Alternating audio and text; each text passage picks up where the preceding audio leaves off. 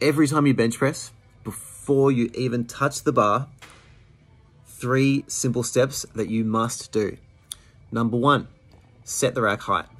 So it needs to be high enough that you can unrack it and start your set comfortably. But most importantly, it needs to be low enough that you can safely rack the bar once you finish your set.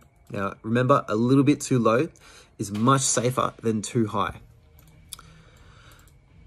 So, number two, make sure that your grip is balanced. Your left and right hands must be an equal distance from the center of the bar. Use the notch on the bar as a guide. And the last and probably most important thing, you got to set up the safety bar. So not all benches have them, but if your bench press has a safety mechanism, it needs to be set up low enough that you can do your reps without the bar touching it. It needs to be high enough that it will actually save you if you fail and have to dump the weight.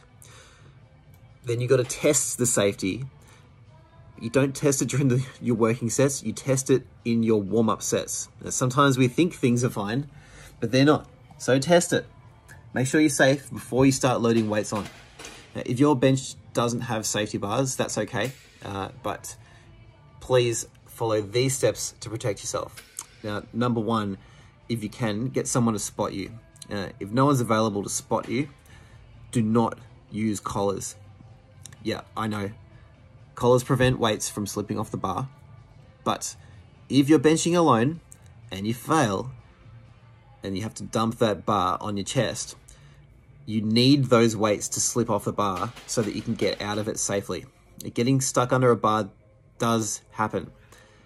So, whether you're into rituals or not, make these steps your bench press warm up ritual, and the gods of bench will smile upon you.